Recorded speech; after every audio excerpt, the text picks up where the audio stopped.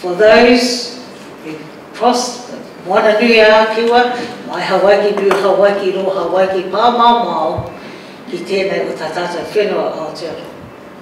And we all travel that journey. That's how come we're here, here today. Um, and so we should never, ever, ever, ever lose those.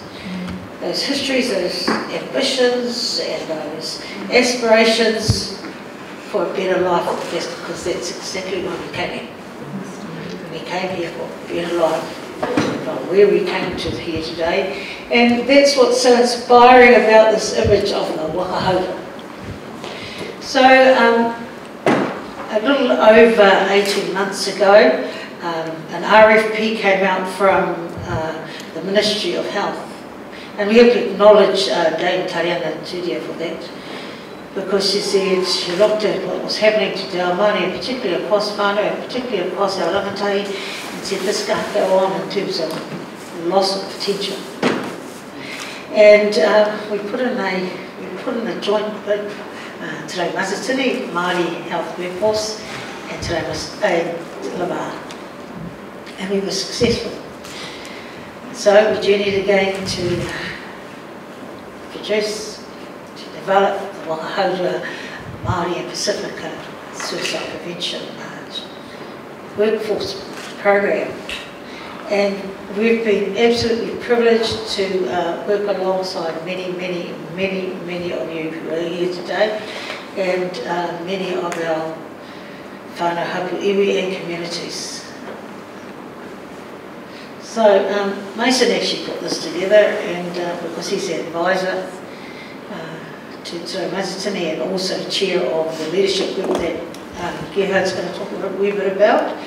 So it's about our solutions, what makes us unique, what's, what makes us indigenous, and the Waka Hourua represents whānau community. Uh, so whānau hapu iwi and community. And there were actions by those same groups that came from within. So they said, actually, um, you have the solutions. You have an idea of what will make it better for yourselves. And, um, and they gave us the acknowledgement of that knowledge uh, to be ambitious, to want something different to what the generation before the current generation and the generation uh, to come, and the alliance that, uh, between the partnership between um, Māori and Pacific. And there will be funding that will go directly to communities, whether it be by uh, via the community initiatives or through research, which uh, why you're here today. And outcome focused, um, so um, there's this to say that we have to, um, when we receive funding from the Ministry of Health, and it goes, how well did you do? How much did you do? And is anyone better off? So, have found strengths and solutions within themselves. The big district health boards, uh, we, we're yet to uh, have a, um, a positive relationship in which it's shared, uh, but are working on it and certainly through the Ministry of Health who have uh, given off their, their funding to us. Um, resilient youth, resilient youth um, around cultural identity, uh, and there is a section that we're going to be talking about, and underpinned, of course, by um, Māori Pacifica aspirations. Um, I like to call them ambitions myself, um, and a, a, model of practice that we all uh, agree upon, um, not necessarily the same way of doing things, but certainly agreed on a, um, a model of practice. So this is it uh, across um, our leadership group. All connected but not necessarily, uh, all connected, influ influencing but not particularly one, one lead.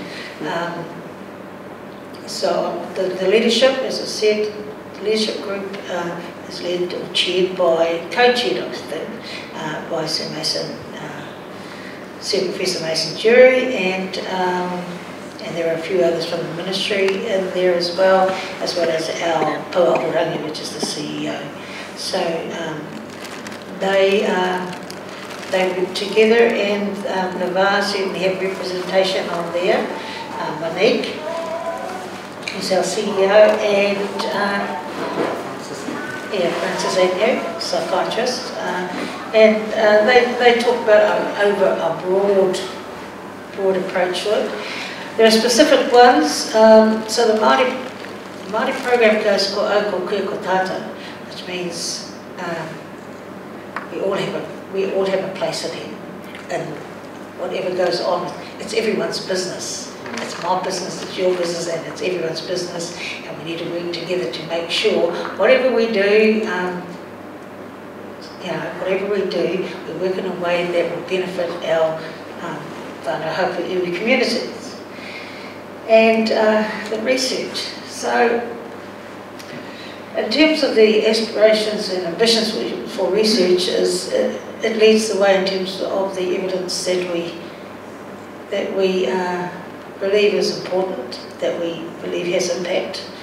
And uh, when we allocated uh, the funding, we certainly looked at both community and iwi uh, approaches, which is what we've got, and uh, what, where that might be, as well as bringing in this. So we were always going to meet, but today was about bringing all of you together who contribute to this kaupapa on a, on not necessarily as I've heard you say, not necessarily just on suicide prevention, but on a well-being uh, scale. So uh, to us, um, there is a certainly a risk, a risk end, but there's also an oranga well-being, and both are important uh, which is why we have the range today of presenters, because both are very important. Um, do you want to talk about flowing at all, um, Gerhard? No? Uh, so, um, yeah, so flow is the Pacifica one, they, they too, um, so we have the joint, the joint one with uh, the research, and they funded that. Um, the Māori a community one, we have 47 in that area and then we also have Pacifica who've got 17. So there are currently, and, and uh, Vicky, um, yeah, Vicky monitors the 47. We have nearly half completed, and Rachel leads the evaluation of those. And we look at, as I said, from how well did you do, how much did you do, how well did you do, and is anyone better off? Uh, so that's undertaken at the moment. And Really, this is the outcomes measurement. So um, whatever we do, we should all be contributing to um, reducing Māori and Pacifica suicide. So do we, will we see that? Will we see that coming through um, Stats New Zealand? Or will we see it coming through the suicide mortality data that's currently being put together? We have to see it somewhere. We have to in our hearts and in our minds or souls know that that's what we're contributing to. We also have to, um, in our hearts and minds, contribute to, to um, reducing suicide attempts and ease the impact, which means um, we work with recovery with the families or with the, um, with the rangatahi. So those are the three, and people might say, oh, well, when are you going to know that? Mm.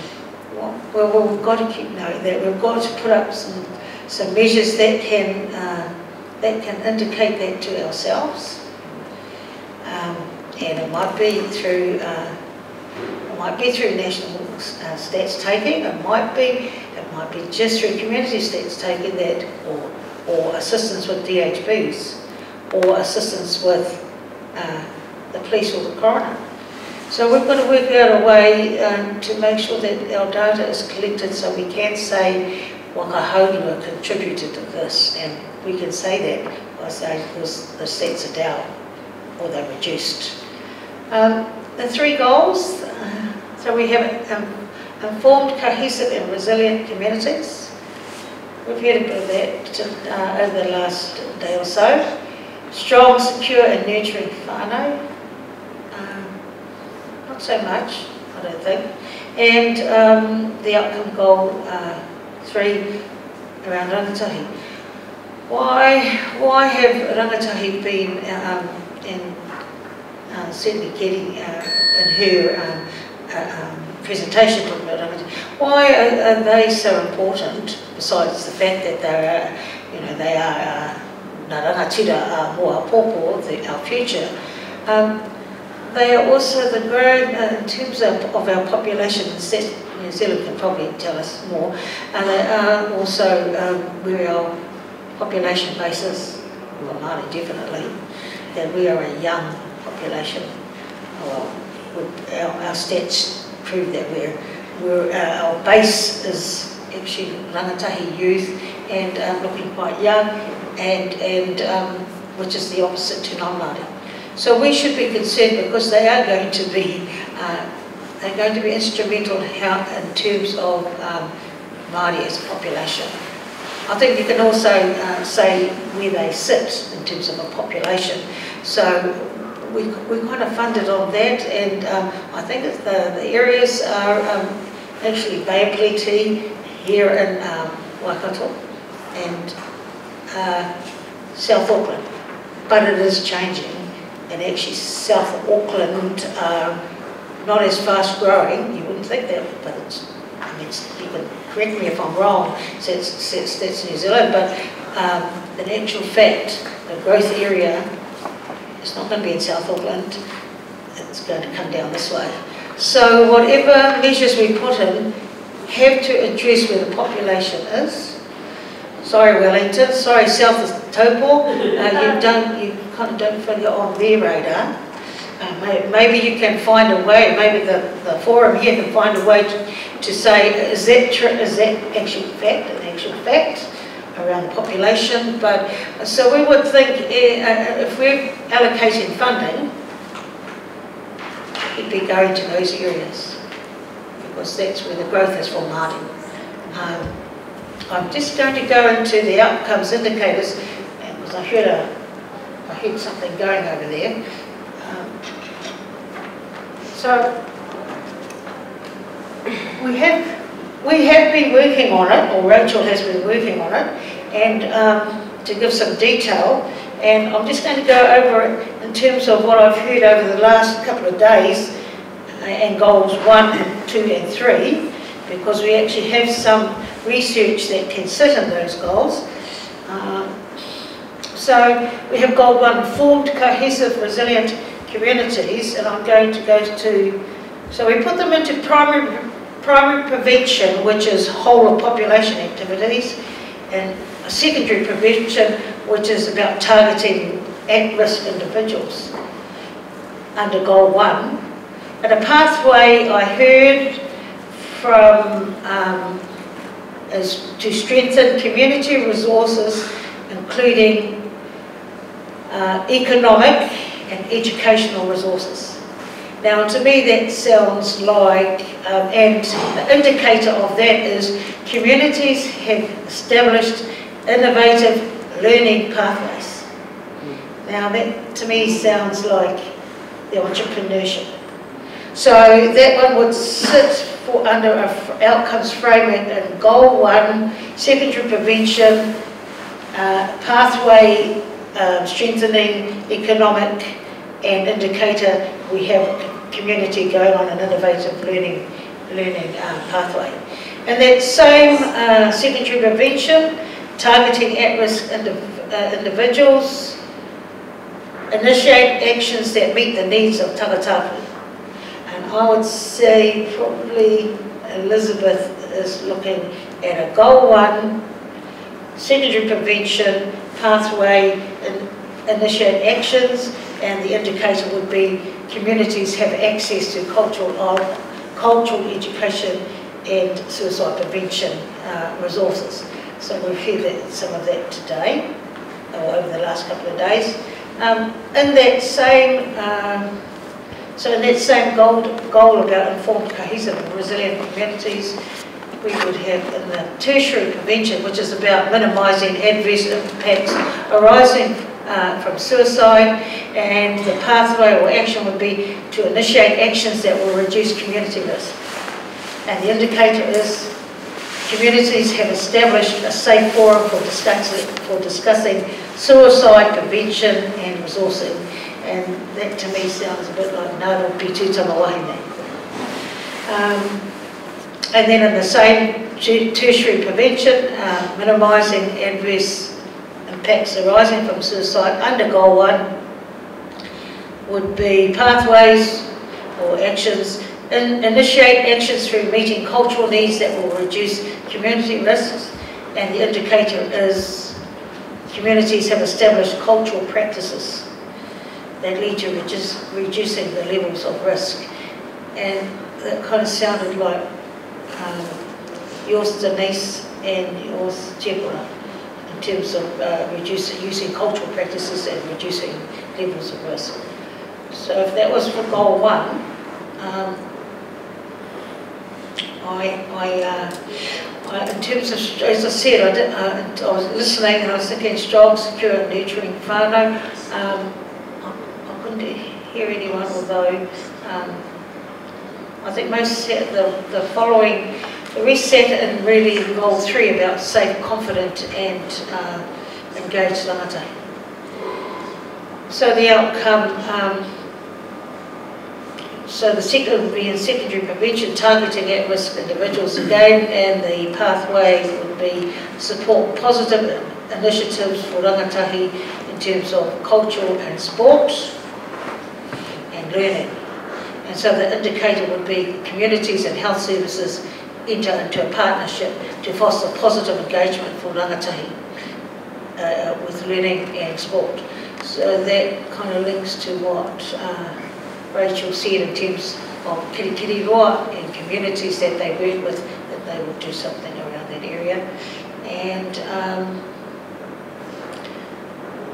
for hope, um,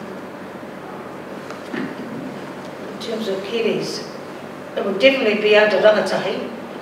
And uh, I've um, put that under a action for to foster foster um, peer support and communications at a uh, local, regional and national level rangatahi leadership networks established to support peers who are isolated or distressed. And rangatahi may well establish e-help leadership. So that might fit there in terms of where um, where that project was. So it's an alignment on it's an alignment of projects or research projects. So I've only done I've only listened to them to the Māori ones and see um, what might be the outcome and what might how that would fit into the, the outcome framework uh, that was put together on behalf of Waka Hourua. And um, because at the end of the day, it also has to go past those in the ministry who want to see, um, well, how did you work that out? How did you work that? How did you come to the conclusion that this was an outcome or that wasn't an outcome or uh, where does it sit in, the, in the, the scheme of things in terms of goal one, goal two, goal three, and pathways and actions. So we have to be able to do that with, we have to be able to do that with everything that we're funded. And as I said, we're well on the way with the community evaluations and they have been lined up. Uh, they are, uh, the, ministry, um, oh yeah, they like infographics, they really like those. Someone said that today. Um, because it does a snapshot of what, what each uh, initiative has done. So we write a, a full report of what's going on and all our all our funded uh, projects, research project projects uh, um, report to us and give us um, their milestones and what they're doing. We're really happy with what we're seeing.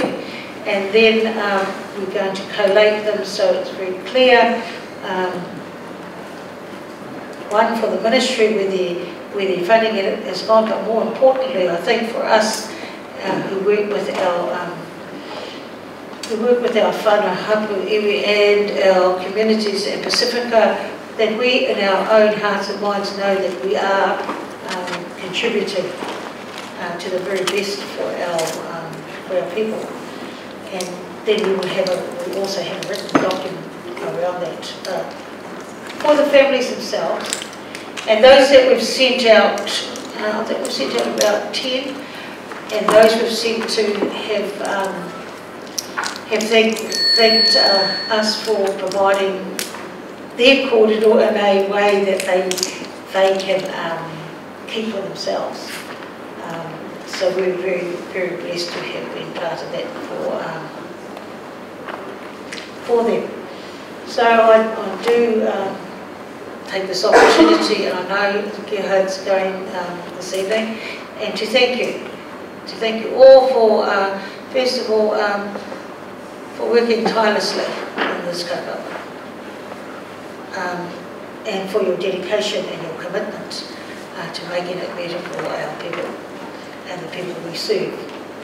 Um, and when we, uh, when we, assessment team that are here, so Tibora, myself, Gerhard, um, Linda and uh, Meredith, um, we want, we did want to provide you with a forum too that we could all get together. And all those who have worked tirelessly for decades, you decades uh, in this kaupapa, that we would share that. Uh, we've had a hui whono um, at the beginning of, uh, oh, last year, but but last year. We were, was shared with everyone, um, and we'll have a we'll have a time again we can we can share uh, with everyone again. And but I um, I do acknowledge uh, everyone that's come and that will contribute to our, uh, the future initiatives that the Waka Hourua um, team will have, and um, the evidence and all the information that will be relevant for our people. So. Um, ko e he vitunga mo te mihi ki, ki a koutou uh, ai te mihi kai te mihi. And I'm gonna hold on uh, where's uh, anei rā te whānau.